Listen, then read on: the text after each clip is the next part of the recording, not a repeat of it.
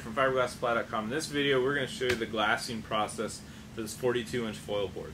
I designed this foil board for going behind the boat for kiteboarding. Uh, it's been a lot of fun. We've had it out a few times behind the boat, have not yet kited on it. Uh, but a couple of things about the board. It is done with a 2-pound EPS core. We are running one of the uh, twin track cassette boxes in it, and then we glassed it with a layer of 6 ounce carbon uh, capped with another layer of 6 ounce S glass. Obviously we run an epoxy resin because this is a styrofoam core board and I also did a custom deck pad for it out of uh, EVA. So watch the video, let us know if you have any questions. I will say we did have some issues with the GoPro while shooting the video so I am missing like when we glassed the deck and when we did the hot coats. Um, really bummed about that. We thought the GoPro was working and it turns out it had a malfunction. One more thing I forgot to say, the board came in at 6.3 pounds with the deck pad on it. So uh, pretty happy with that and really super stoked to ride this thing. Now that we have the board shaped and ready to go, the next thing we're going to do is insert our twin track cassette. Our twin track cassette is simply two fin boxes that are set in H60 Divinycell foam. It's a higher density foam that helps support and distribute the stresses of having the foil attached to the board. Uh, the other thing that's going to help distribute those stresses too is we're putting this fin box in now and then we're going to glass over the whole board and then the, the foil gets mounted to that and that clamps against the skin so we're really you know I think well distributed stress wise in there what we've done here is we've mixed up an epoxy putty using uh, epoxy, in this case Resin Research 2000 CE, with 3M bubbles to make a, a slightly thickened paste. We've put some of that paste in the bottom of the fin box and then we've pasted around the fin box itself and now we're going to install it. Unfortunately, in this case, the box actually sat up a little higher than I wanted it to. I probably could have gotten away with putting less glue in there. Um, not really a big deal. So once I've got that down, I'll take a squeegee and we'll go around the edge and clean that up uh, right there. And after the glue cures, I'll just take a sander and I'll carefully bevel the foam around the fin boxes down to match the board. In this case, I didn't take the fin boxes down any further, so I just beveled that, and there is a little bit of a lump in the bottom of the board, but it's not going to be a big deal. This board is not designed to plane on its bottom. It's just there so we can stand on it and get the foil up on, on flying. After that's done, uh, we're going to take it over to glass. We are going to do cut laps on both sides. So what that means is uh, the first side that we'll glass will be the bottom and we're going to wrap around the rails all the way to the top. So this is the top here that I'm masking off. We're going to extend our reinforcement onto that tape and then trim it. I am going to do a carbon board on this board. Uh, we're using some pattern carbon. We call that the herringbone pattern. And I'll get that first layer uh, laid up on there and then we're gonna over uh, glass it with some six ounce S glass. There's a couple of reasons I'm doing that. I I don't want to go with a single layer of reinforcement. I think it would be too thin. You know that layer of carbon is six to eight thousandths of an inch thick. The layer of glass is about six thousandths of an inch thick. So I want to have a little bit more meat on the bottom than just a single six thousandths of an inch layer. The other reason that I'm going to use glass for the second layer and I'm going to do it over the carbon is that's going to help hold the carbon down. Carbon tends to be a little stiffer and sometimes can spring back on you, so by using that glass, it'll it'll hold that down. One option would be to vacuum bag this, and that would get the weight out. But this board is so small uh, and already pretty light to begin with that I don't feel the need um, to vacuum bag it uh, for the extra hassle that it would be. So, so using some epoxy here, uh, first thing I'm going to do is wet out the carbon.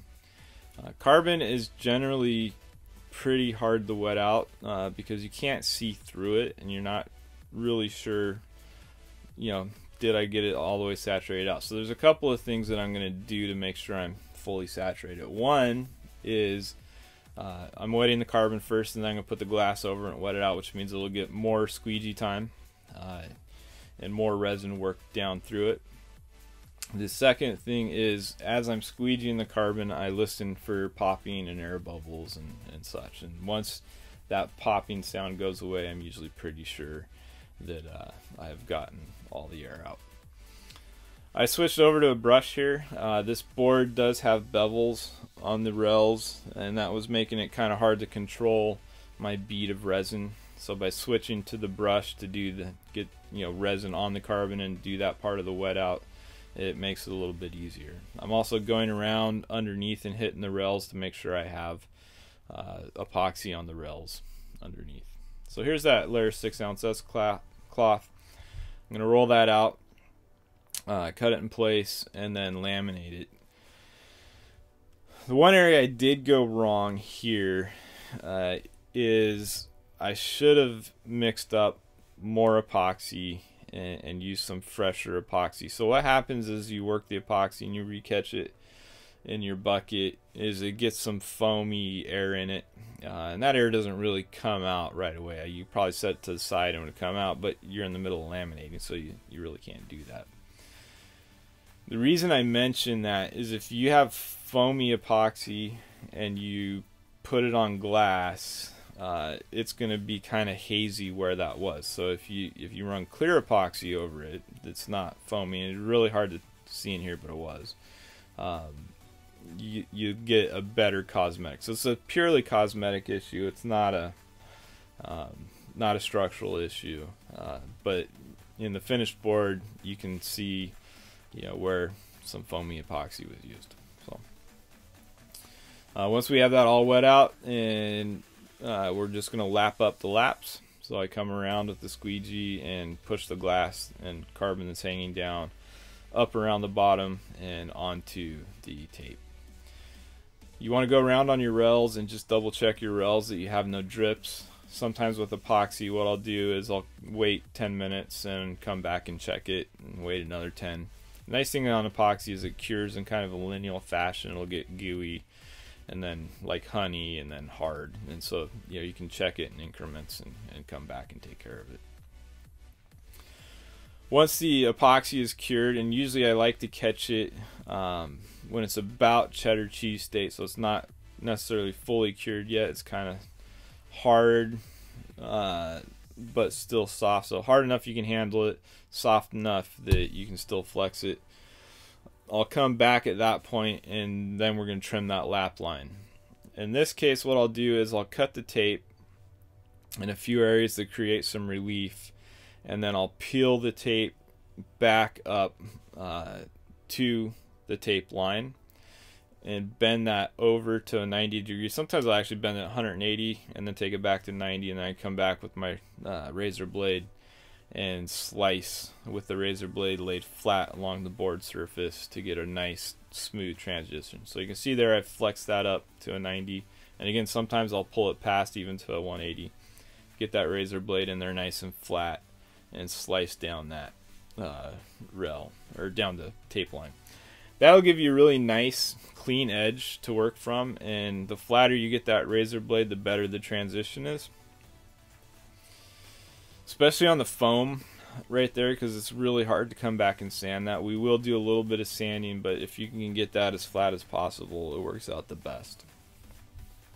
So here I am with uh, sanding block, 40 grit sandpaper on there, and I'm cleaning up where I had my darts cut in the fabric and they create lumps in those areas. So I'm going to clean up all those lumps. I'm going to get it as smooth as possible. If there's any drips we missed, I'm going to sand off the drips get that cleaned up as best you can.